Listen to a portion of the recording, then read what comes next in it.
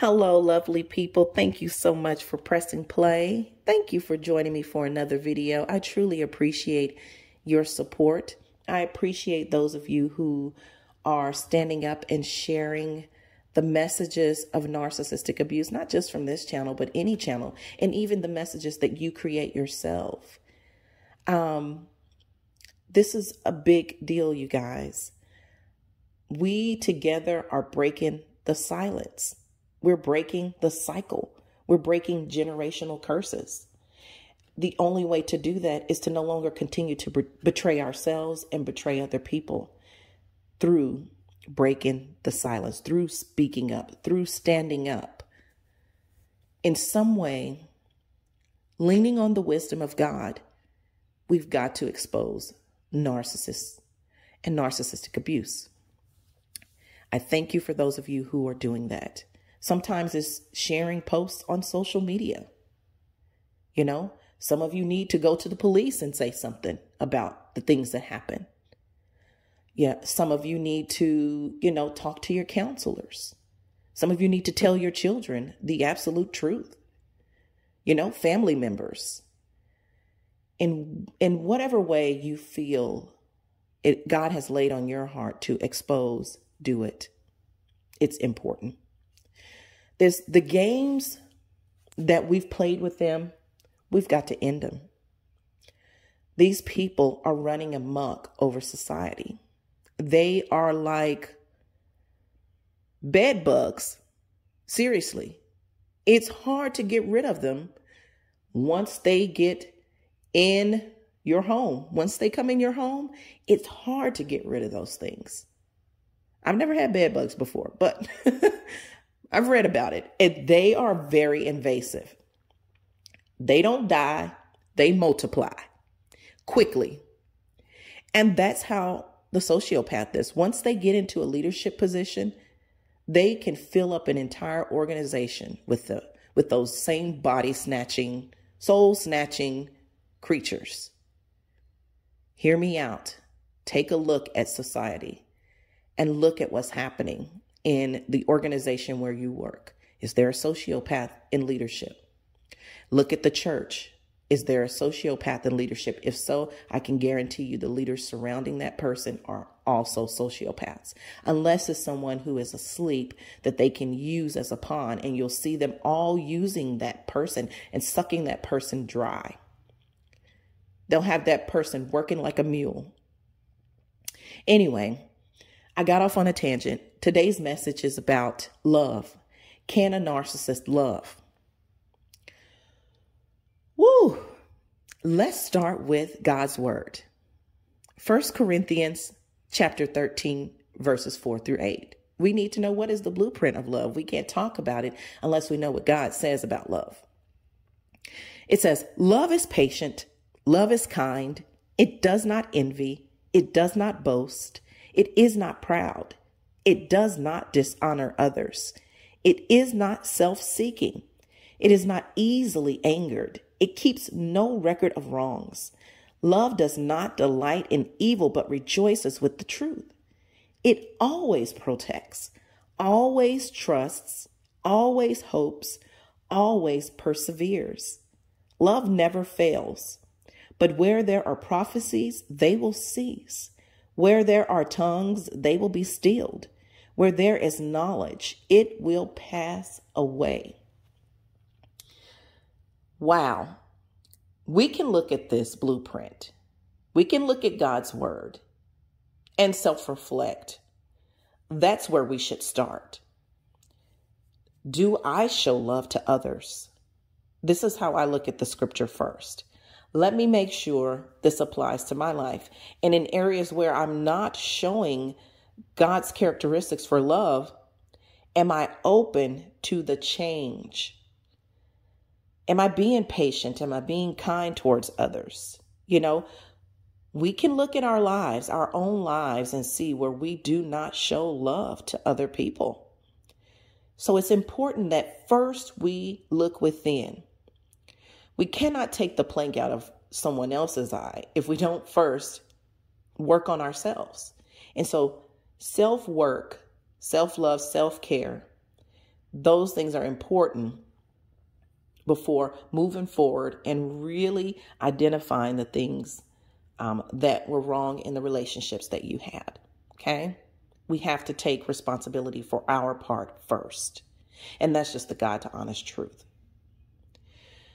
But let's move on to examine relationships with narcissistic people. Starting with patients. Are they patient people? Well, I know that we're all saying no as I ask that question. Absolutely not. Now, we ourselves have been impatient before. But here's the difference narcissistic people are never open to being patient. There's not, there's no love in their impatience. Or if they are showing patience, it's a mockery because it's only to get something. You and I are open to allowing God to work patience in us every day. It's a work because sometimes we need God to do things for us right now and we act out impatiently and we make wrong choices. But we are his children, and so we are open to being corrected and to change. Narcissistic people are not because patience does not come from their heart. God looks at our heart. So in our hearts, we're willing. They are not. There's darkness there and there's light within you. Love is kind. Are they kind? They are not kind at all. And I know a lot of people say, well, everyone likes them in the community. You know, they're in the church. Um, they run this organization. They're doing a great job. It seems like they're just moving up and up and up. When they get in certain positions, they start to bring in other sociopaths. Remember the movie Body Snatchers? I've referred to this movie several times they sought, in body snatchers, they sought leadership positions so they could bring other body snatchers in. It was easier that way. Narcissists are on assignment through Satan. They are the children of Satan. And so they are just carrying out Satan's schemes. What is what is the scheme of Satan? The ultimate scheme is to steal, kill, and destroy by any means necessary. And so Narcissists are not kind, and you've seen them treat people around them in a very unkind manner. And you wonder how these people are saying that, oh, they're nice, they're this and they're that, because the narcissist is the lead demon, in my opinion, over those people. But usually those people are, there's one of two types of people that are surrounded by them that help with the illusion that they're the most like person in the room. And that is someone who is asleep who has an identity crisis, like you and I once were, or another sociopath. Those are the two types of people surrounded by them to help support their illusion, especially the higher up a narcissist goes. And so you're thinking that, oh, the community loves them and, you know, they feel this way. No, they are strategically positioned to make you feel that way. You are God's chosen. And so, as God's chosen, the enemy's going to fight you. They're going to fight against what you, the enemy's going to fight against what you're seeing. That's why it's important to cling to God and to become stronger in your understanding, to lack to not lack knowledge in any way. Ask God for his understanding. Ask him for wisdom. Because you think that narcissists are kind and people are thinking this about them and going against you, those people are strategically placed to make you feel that way. They are not kind. I remember the ex sociopath when I first met him. I was like, gosh, he's rude. He was rude to his friends. He's rude to people in public. He's just rude. And I'm just like, why is he so rude? He was even rude and aggressive with my children, and I didn't like that. I did not want that behavior to rub off on them at all. I remember pointing it out um, one day, like, you know, I wish he wouldn't do that. And I kind of said it under my breath. And one of his sisters heard me and she was like, don't let him do those things to your children. I, I believe she's probably the scapegoat because I saw him punch her like a man in her arm. And he was like, oh, that's the way we play. And I was like, we're 40, you know, you know, almost 40. I've never seen 40 year old people play that way. But anyway, she warned me don't let him rub off on your kids. If you have boundaries, you need to stick to them. And she said it very quietly and very straightforward. So they are not kind ever. It does not envy. Well, we know that narcissists always want what they can't have. And some of us, again, we behave this way, not intentionally. They are very intentional with their behavior. But sometimes we display that same behavior, which causes confusion for people who are really far out on the outside looking in. That's why it's important to stick to God's word and follow it. Narcissists are jealous of everyone around them, even un, even other narcissistic people. They want what others have. They want what they don't have. They want it all. It does not boast and it is not proud. Well, I don't think I need to say anything about that. They do exactly that.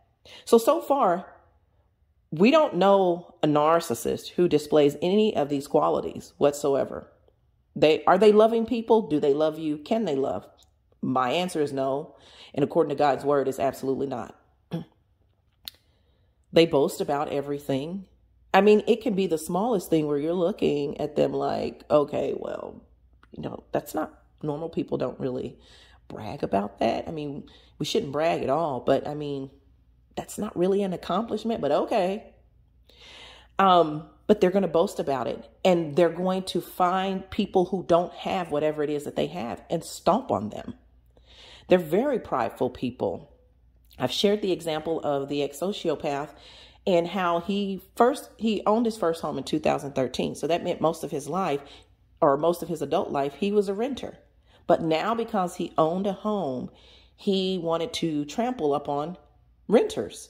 And so he attacked all of the renters in his community, saying that they renters move in and destroy the neighborhood and bring the value down. And I was, you know, some of these people kept their homes. They had been there renting that home for years, and they were lovely homes. And um, taking care of their home better than his. And, you know, he has stuff hanging off his house, shrubs growing as tall as the house, um, you know, grass unkept, and, you know, just oil slicks in the driveway. But and they didn't have those things as renters. But for some reason, he found that one thing to be prideful about because they do always. And so renters are going to be were who he attacked because he was now a homeowner and he could be boastful about that. They are always boastful and prideful about something. They're always lurking about, seeking whom they may devour. It does not dishonor others. Well, what happens with in the within the narcissistic abuse cycle? we're devalued. They devalue people around them 24 7. They devalue you when you first meet them because they are lying. That is dishonoring other people. When you start with a lie, all of them do. They are all liars. And so this is dishonoring to other people. And it is only because they are seeking something for themselves. Moving on into self seeking. They're seeking something for themselves. They're doing all of these things. They're, but they're masking it, making a mockery of God's word because they have no intention on doing good. In their heart is only darkness. And they're doing it because they want something from you and really what that is ultimately is your soul. We talk about them wanting money and, you know, different things from people, but it, that's that's not really what it is. They want to take your soul. They would like for you to take your own life, and that's the ultimate sacrifice to them. That's really what they like for people to do. Drive you absolutely insane and take over. It's not easily angered. Do I need to explain that? Narcissistic rage. They are always angry. They live in a, an angry bubble, always angry. I've never met one who's not angry or extremely aggressive. Never met one. It like pours, it comes out of their pores, should I say. And the more self aware you become and the closer to God you become, you can feel it. It's like burning hot around them. They're angry constantly. It's like when I'm around narcissistic people, I can hear like this heavy demonic breathing sound. Um, they're con- they're like a bull kept behind a gate, and if you open that gate, they're going to come and they're going to tear everything up in its path. They are always angry, keeps no record of wrongs. Well, narcissistic people are accusers of the brethren, just like their father Satan. They will reach back into your childhood. If they could get you to take responsibility for something you did when you were two, they would do that. Whatever you tell them, they are going to use it against you.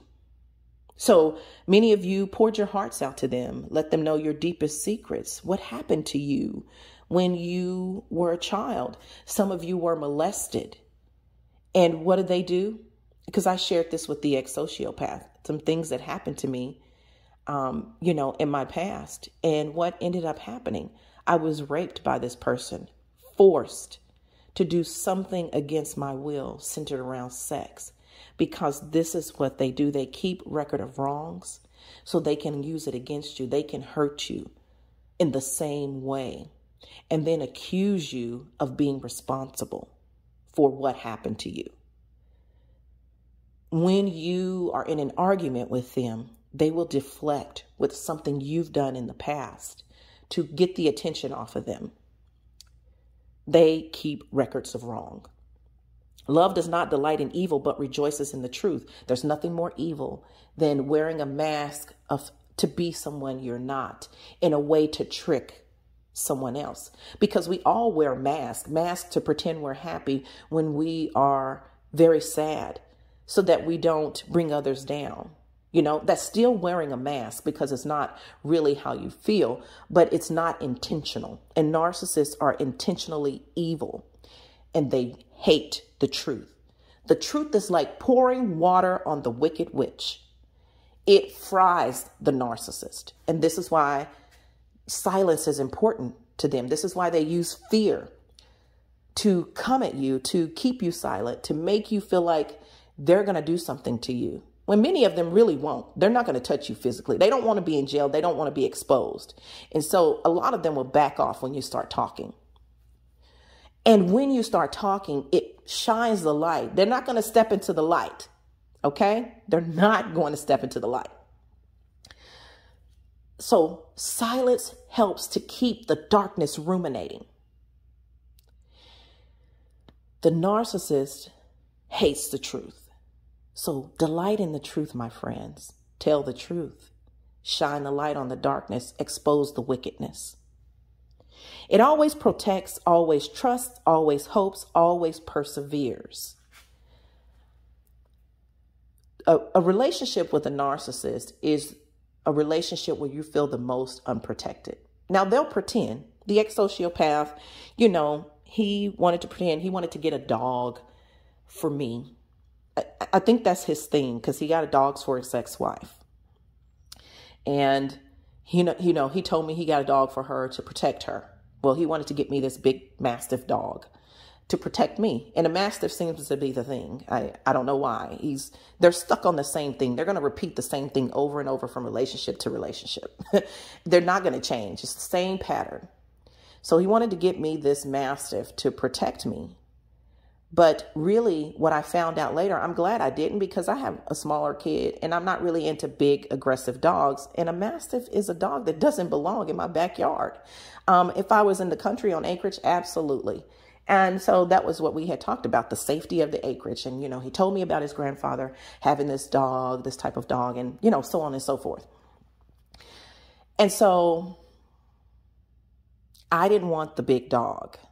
I think that made him angry because he has a certain pattern of behavior that he repeats. And the ex wife told me that, you know, one of the dogs that they had, the mastiff dogs, loved the, the family more than him, didn't really like him. So he killed the dog in front of them. Right? They do not intend to protect you. They will pretend like it. But when you are really in need and in danger, like when I was stranded on the highway or stranded at the gas station, or in need of someone to help me move, the person who said they love me There was no protection available from him. But I was always protecting him in some way. So it's a relationship where you feel absolutely unprotected. You feel vulnerable. You feel open wide to anything. They will let anyone say anything about you and they will repeat it to you. Oh, my friend said this and that. And sometimes their friends didn't even say anything. They just triangulate you with them. And so they'll, you know, they want you to feel as unsafe as possible because then you walk on eggshells, fear kicks in, you're afraid to lose that relationship, you're confused, and they can just, you know, run all over your life, take advantage of every single moment until they are able to grab your soul and take it out. Always trust, always hopes, always perseveres. As I said, they don't do any of that. They are not hopeful. They are thieves. Thieves don't hope for anything, they just take it. They do not trust anyone. They don't even know what that is. They are, they move on assignment. They trust Satan. They think that Satan has the plan. They do what they're told, like the mules that they are for Satan. And that's what happens. That's just what they do. Perseveres? Absolutely not, because perseverance requires patience. So we can throw that out too. Love never fails. In other words, lo- love is perfect. It is perfect even in all of its mistakes. Because again, God looks at the heart. Love doesn't want to fail. Love wants to make everyone feel wanted and respected and cared for. So even if we miss some of these, we go back and we correct ourselves. We apologize. We let people know that we care about them that we're here for them. That is love. Allowing God to move in our hearts. God looks at the heart, the heart of a man, as I've said several times already. He's looking at your heart. Is there love in your heart? That's question number one. And then responding to the question, can a narcissist love? Well, they don't do any of these things. They are the most unloving creatures on this earth you're more likely to get love out of a hermit crab than you are from a narcissist. I know that was random, but there you go. So I hope that this message was helpful. Um, the next message I'm going to share um, later on, maybe the next couple videos, is about what God detests and how narcissists do exactly everything on that list. And I think I may have made a video about that before, but I'm going to go into it again because some of these things we just can't say enough. Okay. So did the narcissist love you? Can they love? The answer is no. It's flat out no. Please share your comments, what you think, what you know. Share any scriptures I may have not shared here because, of course, I just focused on this one scripture, but there are so many other scriptures in the Bible that give you a perspective on narcissism and what love is and what love is not. So please share those scriptures below. Thank you for sharing your wisdom with us. God bless you all. Take good care of yourselves and have a fantastic day. Bye bye.